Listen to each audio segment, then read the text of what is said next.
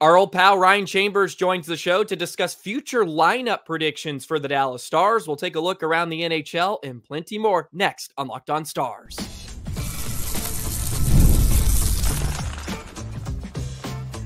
Your Locked On Stars, your daily podcast on the Dallas Stars, part of the Locked On Podcast Network. Your team every day. Howdy, Stars fans. Welcome back to another episode of Locked On Stars, part of the Locked On Podcast Network, your team every single day. It's a pleasure to be with you. I'm Joey Erickson, former producer 105 through the fan. Please be sure to subscribe. We are free and available wherever you get your podcast in on YouTube. And as always, thank you so much for making us a part of your day and making us your first listen. We welcome back to the show once again Mr. Ryan Chambers from Starcastic Remarks. It's been a few weeks since I've had the pleasure to discuss some Dallas Stars hockey with Ryan. Ryan, how have you been? Are you really into the Summer Olympics? Do you find yourself kind of attached to that whole thing, or is it kind of whatever for you? uh, to, it's it's not the Olympics' fault, man. It, it's just it, I, for those of you that know my personal background right now. I am just I, we just moved back to the DFW area, me and my family, and like I have had zero time to do anything. Yes. so yes. I, I, did see I did see that the uh, the women's rugby sevens team did a really good job. They got their first bronze medal, I yeah. think, in their history. That was pretty cool to watch. I watched a short on uh I, I think it was on YouTube, but you, you know, so far so good from what I've heard. So normally I kind of get into like the water polo for some reason. I have no idea yeah. why. Yeah, absolutely. I enjoy it. Good, good. Uh, for some of us that you know don't have things to do, I am I've been locked in. So, man, uh, swimming, dude. Oh my good. I am sitting there. I am yelling at the TV. I'm charging on our Americans to get to the finish line. I, I really enjoy it. I, I I think I kind of enjoy both Olympics pretty evenly in, in terms of summer, mm-hmm. winter. Obviously, the winter with the hockey. I'm super pumped to watch best on best here oh, instead of the All Star game in the next uh, in the next year. So th- that'll be uh, super super I- exciting. But uh, yeah, Olympics are certainly um, a good good time. All righty, let's jump into uh, some Dallas Stars hockey, shall we? Today's episode is brought to you by FanDuel. Make every moment more as playoffs wind down. The sports stop sporting like we want them to, but this summer FanDuel is hooking up all customers with a boost or a bonus daily. That's right. There's something for everyone every day, all summer long. Visit FanDuel.com to get started. So I believe we caught up right before July 1st in free agency. So I'd love to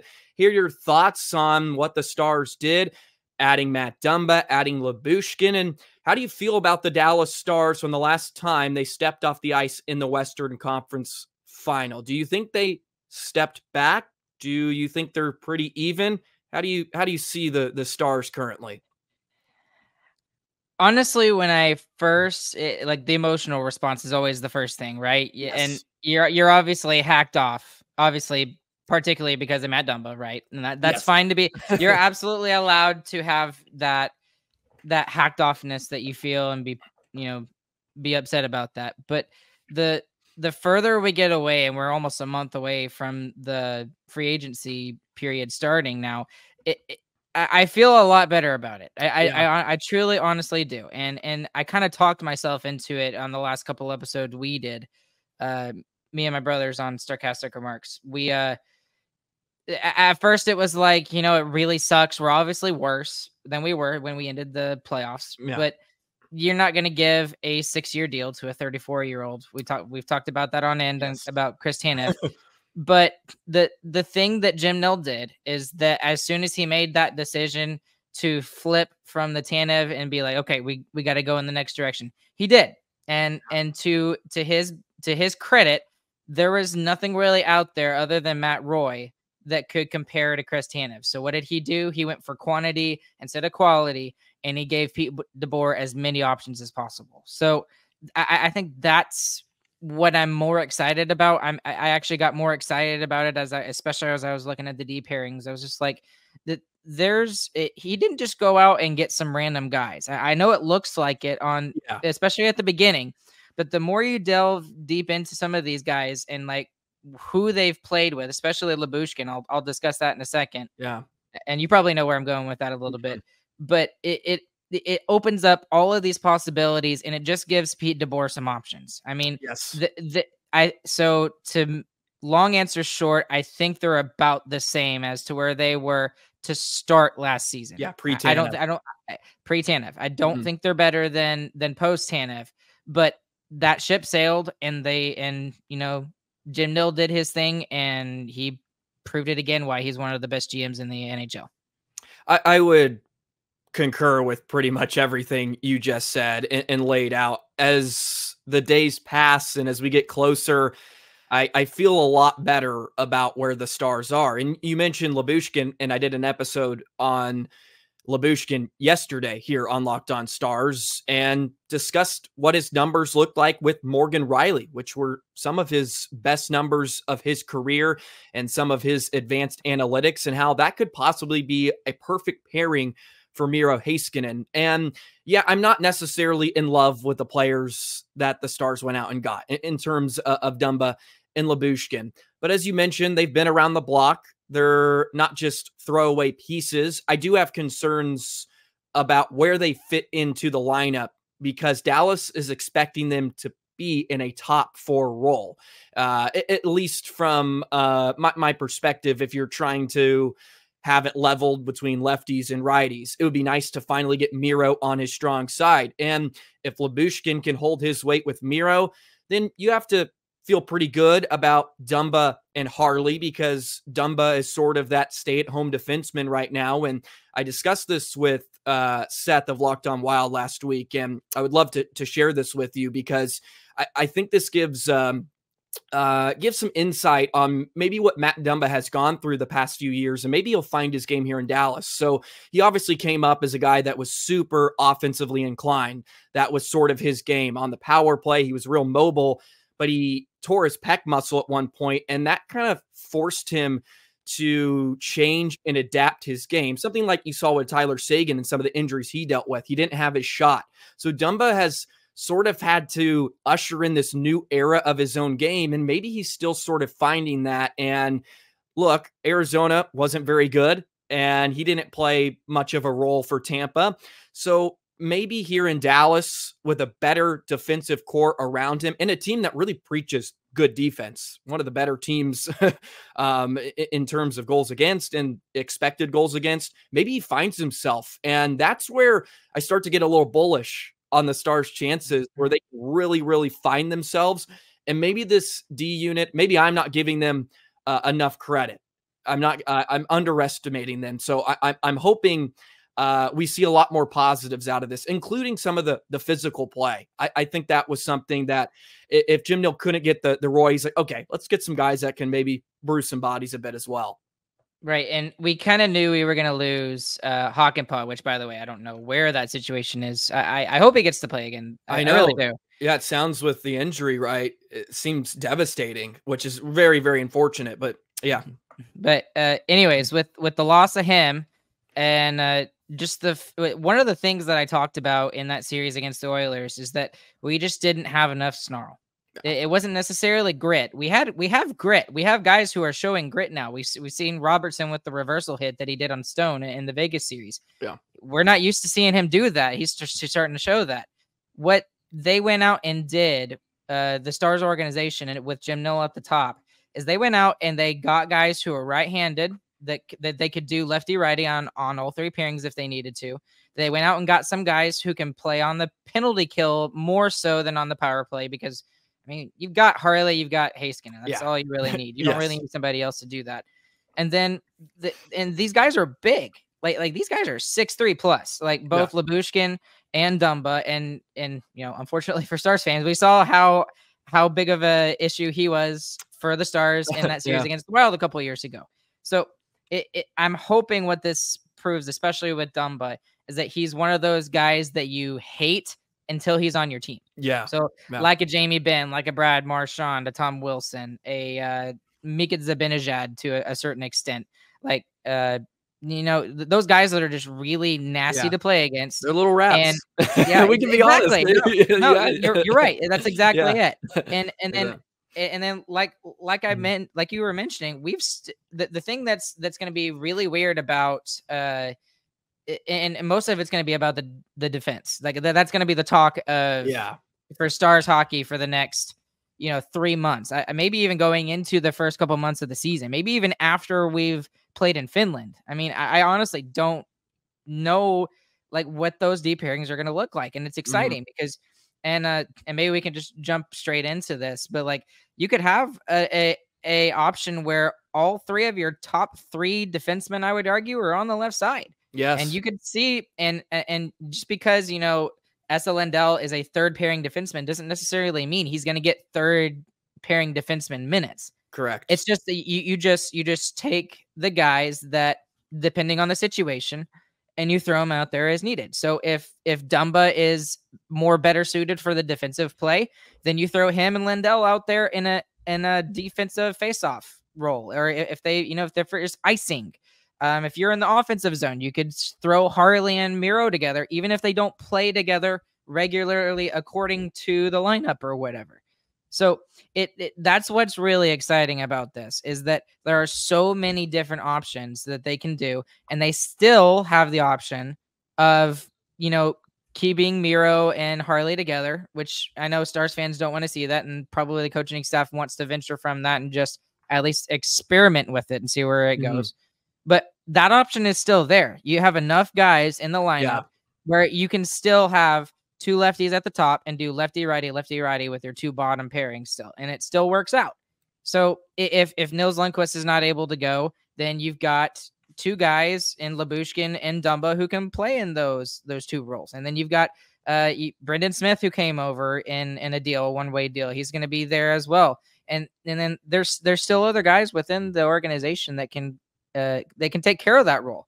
So it, it's it, it's just it, it's very intriguing and it's very mm. exciting to think about because there it, there's no definitive lineup, especially with the defense. I, I don't think it's ever going to be the same for the first month of the season. And then that allows Jim Jim Nill and you know Pete DeBoer, Steve Spott, Alain Nasreddine to kind of go through these and be like, okay, well these guys are working well yeah. together. Let's keep them together for this particular situation. Or heck, if if for some reason they work together good all the time, then just keep the pairings the way they are, and we'll just fly from there. And if you know a team figures us out, then we'll switch it up on them, and it it just gives them a lot of options, and I love to see that. I love to see that. Today's episode of Locked On Stars is brought to you by FanDuel. I love sports. I love them so much. I never want them to stop. But as the playoffs wind down, we get fewer games and the sports aren't sporting like I want them to. But FanDuel lets me keep the sports going whenever I want. All I have to do is open the app and dream up bets anytime I'm in the mood. We're in the dog days of summer currently. The Texas Rangers are trying to dig deep here at the trade deadline. They've made a couple of moves. They've added a pitcher to the bullpen. Josh Jung is finally back. Maybe they can turn it around here in the second half and make a magical run. You could probably get some pretty decent odds on the Rangers for winning back to back World Series championships. That could be very hard, but go to FanDuel this summer because they're hooking up all customers with a boost or a bonus daily. That's right. There's something for everyone every day, all summer long. So head over to fanduel.com, start making the most out of your summer. FanDuel, official sports betting partner of Major League Baseball. Yeah, I think you make an excellent point in terms uh, of the usage because Lyubushkin is someone that's averaged 17 minutes per game here over the last three seasons. And of course, Miro is going to be somewhere 24 to 25. The nice thing is, you're probably not going to have a situation where Ryan Suter was playing almost 22 minutes uh, a game. You can start to spread the wealth a bit more. And, and Dumba, I think, is a player that could take charge and take on a few more minutes. He, he played just over, I believe, 19 in uh, in Tampa Bay. So, as you mentioned, situationally, maybe you see Miro and Harley a lot together at towards the end of games, especially if they need offense or even to shut it down defensively. And that was something we sort of saw in the last few months of the season with even Tanev and pairings that were Absolutely. pretty solidified. But I mean, everybody was playing with everybody. It was Harley and Lindell at some points, Tanev and Miro. And then you could go back to uh, whether that's Suter and Tanev. We saw that quite a bit too. Mm-hmm. Whatever it was, they just kind of rolled along. Some of that was due to just they were rolling 5D men, so they didn't really have perfect pairings. But you would have to think now Dallas has, you would think, hopefully six D men they sort of trust. Nils Lundkvist is, of course, still uh, the oddball out there. We'll see what happens here in year three uh, with, with Pete DeBoer. But what I say and what I would really, really love to happen is Liam Bichsel comes up in November, December, whenever it is, solidifies himself as a player in the National Hockey League. You put Bichsel possibly into that top four, and you could possibly reunite Harley and Heiskanen. And maybe you have Bichsel with Dumba as your left righty pairing. Now that is a now that looks like a top four that could possibly do some damage, and and you're rolling with. Um, or you could have Bichsel on that third pairing uh, with Lindell possibly um, I, I, where, where, wherever you kind of go. And as you mentioned, this is where we could, I mean, we could talk for an hour about the different combinations exactly. and stuff right, as, yeah. as, well. So um, I, I, will, I will segue into this uh, a bit because I, I did want to to show this uh, to you and, and, get your thoughts on my lineup predictions. Uh, I put this out a couple of weeks ago on an episode, and I sort of just you know put everybody into a certain position um, and we've talked about the defense here, so we'll we'll go into the the lines here. And uh, there's a lot of talk about Johnston on that top line with Roope and Robertson, but but right now, I don't know why I'm feeling Logan Stankoven on that right wing with Roope and Jason. You keep Johnston as a center with Jamie Benn. I'm afraid to almost break Benn and Johnston up. Uh, how do you feel about this? Would you go anywhere different? To be honest, I, I you probably feel almost like uh, it, it, won't matter too much. they're, they're just so talented; they're going to figure it out. But I, I'm, I'm I'm curious to what you believe the lines could look like on opening night. Um, yeah, I, am I'm, I'm kind of still on the feeling that Johnston is going to be on the top line, yeah. and and and I mean, you know, w- there's so many different ways you could do yeah. with, with these top guys. It's it, it's kind of nice. The the the reason why I think I want to see Wyatt Johnston go up on the top line is not necessarily because I think he would be better than Stankoven, which I think he could. Yeah. Uh, but it, it's it's the, the the wild card in there is obviously Mavrik Bourque. Mm-hmm. And if you if you have Jamie Benn, you've got Mavrik Bourque, and you've got Stankoven. We we we saw that. Well, not a lot of us did, but we we definitely at least heard about the magic that was between Bourque and Stankoven at the AHL mm-hmm. level. So I, I don't know if that can translate to the NHL. That's yet to be seen. But if if that can translate to the NHL the way that it did to the AHL so perfectly, and Jamie Benn is a absolute perfect guy to have as a, a, a member of that trio. Yeah, because his he's, he's very much like uh, Joe Pavelski and the fact that he's starting to get up there in age a little bit, but he's still been productive. He's still a 20 goal scorer. You know, he can get you 50, 60 points. Yeah. And and he's he he's just he's shown with his uh, hockey IQ that he can play with younger guys and he's just in the right spot at the right time. And then we we've just also seen the how he especially Jamie Benn has kind of mentored some of these other guys. He brought in Wyatt Johnston uh, two years ago, and that chemistry just for some reason clicked. And he and Johnston were just ridiculous. And I don't think Johnston needs him anymore. And I, I think yeah. that, you know, Bourque and Stankoven kind of need him a little bit.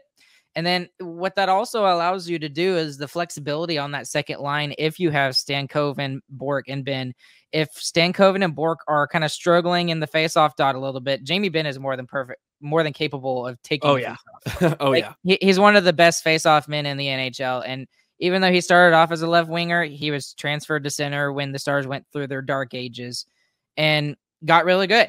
So that that again, just the the flexibility that Jim Nill puts together with this lineup. That's why I would like to kind of see that second line uh, formulate that way with Logan Mavrik and Jamie. That I think that would just gel really good together. Mm. And uh, if it doesn't start at the very beginning of the season, and I, I definitely think we'll see it at some point.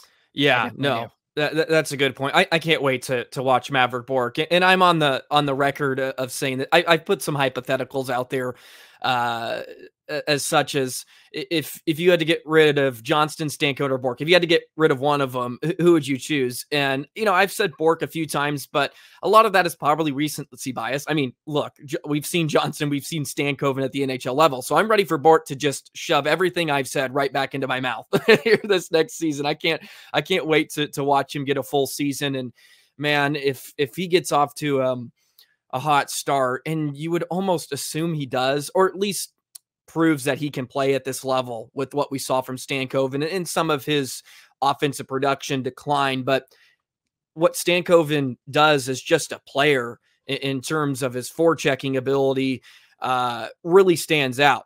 Even if he wasn't scoring or picking up points, he was still effective. And Bourque just seems like he's almost a mirror image. He's going to be effective whether or not he finds the back um, of the net or, or not. And a, line I would truly like to see at some point is Johnston, Stankoven, and Bourque. Throw all the young guns together, sign them all to eight by eights, and uh, we'll watch them for the next decade. and just throw Jamie Benn on that top line. Yeah, he'll be fine. Just put the young guys together. yeah, he'll figure. hey, if, if, if, he can, hey, I believe he could do what uh, Joe Pavelski did with with, with Robertson. yeah, and, and again, yeah. it's it's just the you can see it. You like you, you mm. can see the flexibility throughout the lineup that Jim Nill is able to do, and it, it's just fantastic. Now, the the the one thing I do want to point out about Mavrik Bourque compared to both Johnston and uh, Logan Stankoven is just a little bit of a different element. He's kind of being gifted a roster spot just because of the just mostly because of the cap right? Yeah. So I mean, Jim Nill had to make some decisions, and I mean, everyone knows he's ready. Like, I like he, yes. he, he I, there's no reason for him to go back to the AHL. He was AHL MVP. That he he's proven everything other than winning the Calder Cup there. That's literally the only thing that he he didn't prove. It, but even with Johnston, even with Stankoven, it, it's like Jim Nill put pylons in their ways to to as like a prove me yeah. like prove it to me that you are ready. He did that with with uh no with Jake as well, with Jake Oettinger. He just put these little pylons and put veteran players in their way and said, okay, if you're better than them, go go take it. Now, Mavrik Bourque, that's different. I mean, he like like you said, he's basically being gifted a top six role yeah. on this team. And the expectation is going to be a little higher for him than it was for Stan Stankoven or even for Wyatt Johnston when he came in. Yeah, I mean Johnson we, was a tryout almost. yeah, exactly right. like we, day. like yeah. Like uh, we didn't know what he was going to be able to do and score no. 20 goals in his in his rookie season. That was yeah. that was not possible. We didn't see that coming. So it now that could be a good thing or a bad thing. Could the pressure get to him and it cause him to kind of stumble in his first year? Yeah, that's po- a possibility. But at the same time, that could also give him a confidence boost and say, "Hey, you know, Jim Nill made millions of dollars of decisions based off the fact that he he believes I can play in the NHL. Yeah. So I'm gonna go out there and you know prove it to him that you know his faith was not misguided.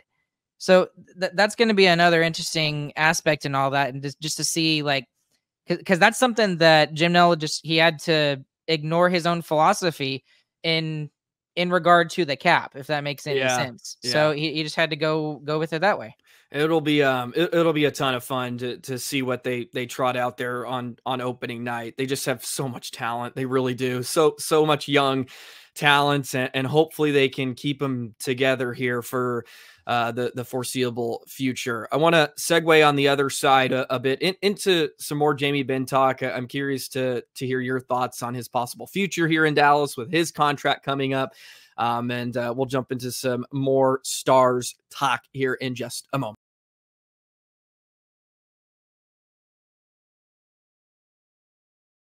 Jamie Benn has sort of been, uh, I feel like he's been a, a very hot topic here over the summer because he'll be 35 here at the end of next season. Uh, his contract is finally coming to an end. A lot of fans, uh, I think, are divided in terms of they would love to keep him around. He's a wonderful captain. He's made a huge impact here in Dallas, and he's actually starting to play some of his best hockey here recently in, in, in his career, at least in his early 30s. And I think others are, man, hey, that that's going to be nice to get him off the books and we can go pay some guys and then we can get even stronger. Curious where you line up where where do you feel Jamie Benn is at the end of next season? Do you do you feel like he resigns here in Dallas? I feel like it's 75 25% he stays because Dallas just loves their their loyal guys and I feel like he's pretty loyal and he wants to try to get it done here. Can we please not turn into Vegas? Like, like, like, like, let's not, let's not do. Let, we shouldn't even be speculating about this. And it was just the freaking Vegas Golden Knights had to go off and just be completely unloyal to, like, one of the greatest players ever, and Marc Andre Fleury and stuff mm-hmm. like that. Anyways, he ain't going anywhere. The, okay. There, there's, I, like the, I, I, I posed that question with my brothers a little bit because I was like, you know, there is something to it. There is, especially, I mean, Stamkos, perfect example right now. Yeah, I mean, and, Pavelski, you could throw him there too. Yeah, exactly. Like, examples. Um, like two captains who meant everything to their fan bases, and just because their teams made hard decisions, or in the San Jose Sharks case, a stupid decision, that they, you know, they lose their their beloved player. Um, yeah. I don't think that's gonna happen with Jamie Benn. Uh, I uh, he's he's obviously not going to get the same contract he is right now, but yeah. I, I I think he understands that, and I mean, every read the room, everybody understands that, and he he understands that he has a really good chance to win a Stanley Cup here. And mm-hmm. that's very rare for people his age to be able to be counted on and be a captain for an organization and, you know, have the opportunity that he has.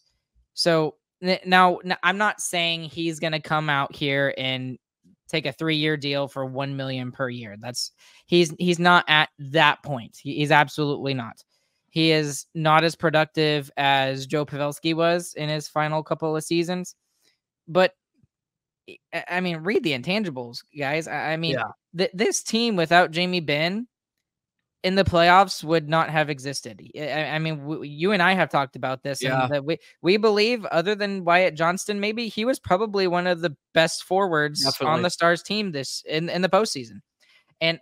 I, I think that goes back, and you go back to that scene at the end of the 2020 bubble playoffs mm-hmm. when just the the situation that it was, it, the world had never seen something like this.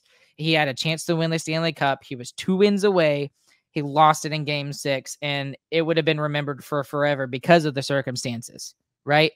And he remembers that. Like, like when when Totes put that whole documentary together uh, for Fox Sports Southwest back in the day, that was the very last thing that he put into that documentary. And that uh, I'm getting goosebumps thinking about yeah. that because it will live in my mind for forever if he is not able to get to that ultimate quest of winning the Stanley Cup. And, you know, Dallas Stars fans are going to be completely disheartened if we don't sign him and he goes somewhere else, uh, God forbid, Colorado, yeah, or or Nashville or something like that, and win a Stanley Cup with that franchise after being with the Stars for as long as he does. So, the, eh, I mean, I, I I know you were like 75 25. I'm mm-hmm. like 99 1. I love it. Yeah. that's yeah. the and maybe that's the the fan a little bit talking in me and the it's the more the emotional side but this is one of the few one of the few times unlike you know free agency we talked about the emotional connection with that and that you shouldn't you know hold on to that too much this is one of those things where you have to hold on to it just yeah. for the le- the legacy of your franchise the legacy mm. of the player the legacy of of this era of Dallas Stars hockey you can't let Jamie Benn go off and go win a Stanley Cup somewhere else. I'm sorry, you can't. Seguin and um Seguin and Benn have sort of the early 2010s Rangers to them, right? The yes. Beltres, the yes. Youngs of the world that are Elvis trying to get it done. They've yeah. come so close and they haven't been able to cross the finish line. And if they don't get it done together, you're just gonna feel just feel sick to your stomach until somebody comes along and and finally almost uh finally someone breaks through like the Rangers did this past season. And, and it does soften some of the blow, but you still look back and you're like, man, I mean, well, Beltre, Beltre is one of my favorite players of all time. I think about him, just never even had a ring. It's just like, it softens the blow. The Rangers mm-hmm. got it done. Um, I think a lot of Stars fans may feel that way about this era of, of hockey if Seguin and Benn aren't able to, to reach that goal.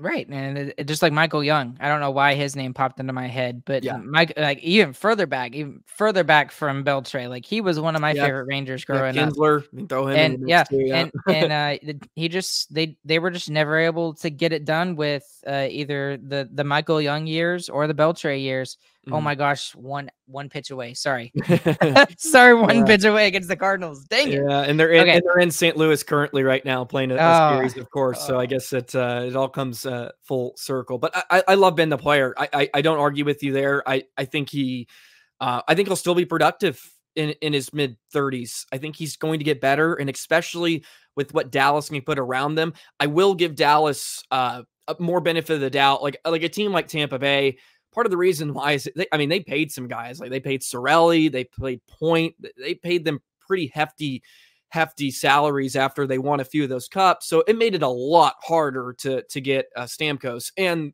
their consolation prize is Guentzel. So congratulations. Yeah, what are they complaining about? Yeah. yeah. exactly. They'll be um they'll be just fine.